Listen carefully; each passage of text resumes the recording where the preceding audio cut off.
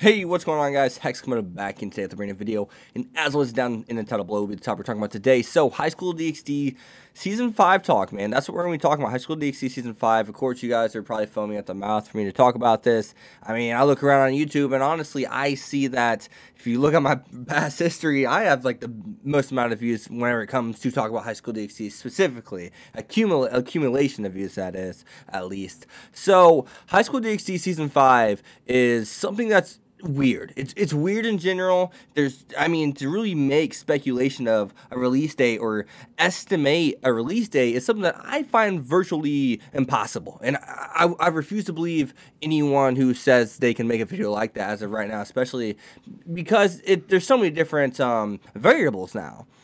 Passione, that's a huge variable. That's a whole new studio. So therefore, we cannot go by what TNK did because this is a new studio. It's it's its own studio. We we don't know their history. We don't we have no data to you know see what their tendencies are when it comes to releasing shows aka high school DxD specifically. But um, so that's a big variable. This is foreign territory. We've never been in this territory before. And another thing that really makes things kind of weird with all this is the simple fact that DxD has over 20 volumes in a light novel. We literally just finished volume 10. So it's not like we're waiting for DxD to you know, get finished. Because DxD, if, even if we released maybe an anime per year, once a year, even then, it's very unlikely that the anime catches up to the light novel. Very unlikely, extremely unlikely that the that the anime catches up to the light novel. You know, light novel even then, because I would imagine DxD is done by volume thirty. I would only imagine. I think it's on like twenty three, right around there right now. But I would honestly imagine it's done by that time. I don't know for sure, but like there's not that many light novels that are over 30 volumes. Like that's very impressive. And I take my hat off to the creator, you know, the and or author of High School DxD in general for making it this far, especially with the harem series. That's very impressive. So that's something that's really interesting. That's something that we have to wait and find out. So another huge variable in this, guys, is some fact that the art's different how was that going to be perceived? It's something that grew on me. Yes, do I still prefer the TNK art? Sure, I would have loved to see a lot of moments with the TNK art style. Sure. But at the same time, it's going to be how do people perceive it? Not even necessarily the Western audience, which DxD does have a very popular Western audience, especially for what it is. Um, but at the same time, how does Japan see it?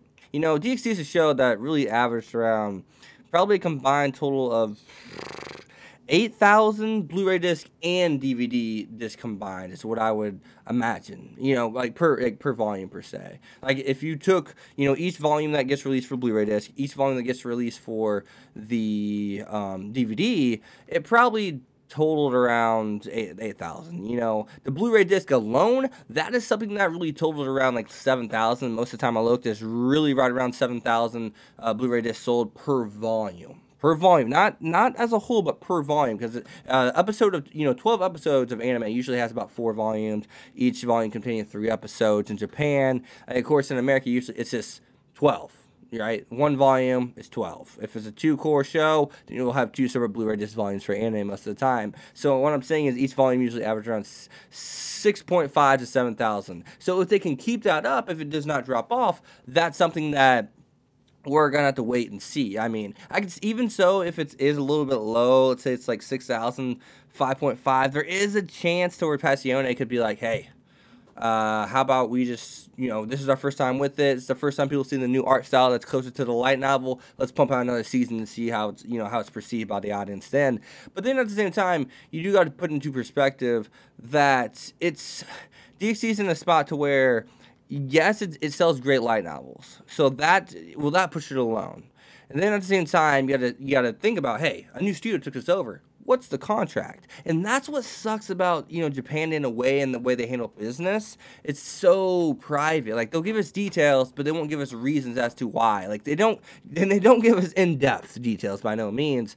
So I mean and that's something that we, we don't know. Is there a contract? Hey, is it contracted for three for three seasons? Is it contracted through you know Passione for at least a season five, six, seven? And you got to look at the same time. The author of DxD did say he, I believe he wishes he wants DxD to get at least four more seasons, I think he said. So that would at least equal eight seasons. I mean, if, if we're doing three volumes at a time, I mean, that would get us to volume like what? Like, that'd be, well, four more seasons. I mean, that'd be 12. So I guess right around 21, 22, you know, 24, right in that range, depending on how they handle it and how, you know, long each arc gets within the, in, you know, within those volumes. I don't know.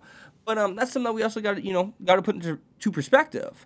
That's something that's huge. That is massive to think about. But then at the same time, let's take a peek at the end of DxD season four. Indra's introduced, and he even says, if you say causes problems, hey, we'll take care of them. most open ending ever, right? Like, it's truly an open ending. That's truly saying, hey, oh wait, there's more. And that's something that shows can do, but they never get a season. But DxD has done that a couple times, right?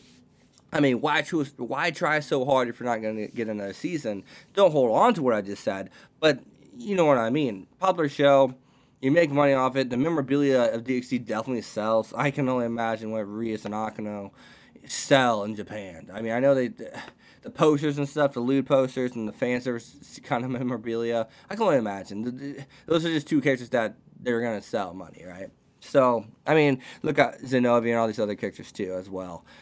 So, I mean, a lot of variables. At the end of the day, there are a lot of variables that go into this. It's, yeah.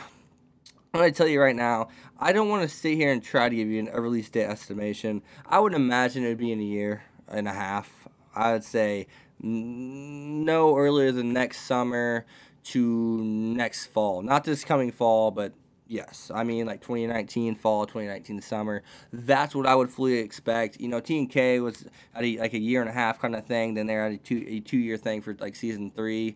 So, or excuse me, two year. It's two years from season three to four, right around there.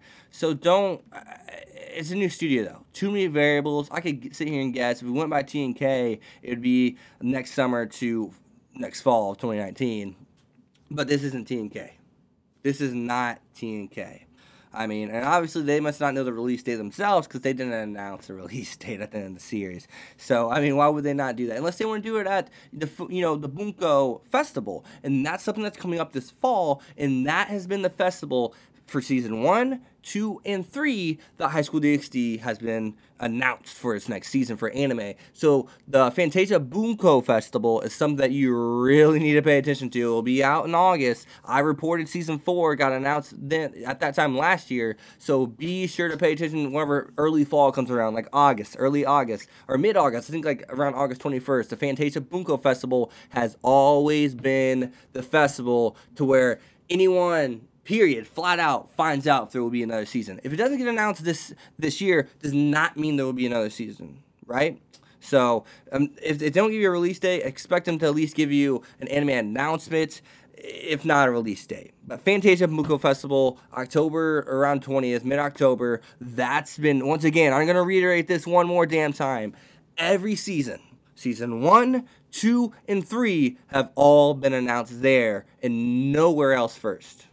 October, mid October.